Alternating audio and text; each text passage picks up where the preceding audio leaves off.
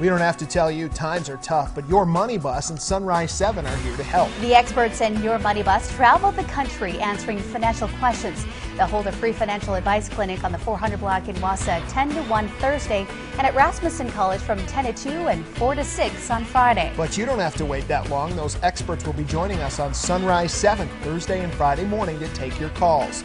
So have your questions ready. We'll have the answers for you this week on Sunrise 7.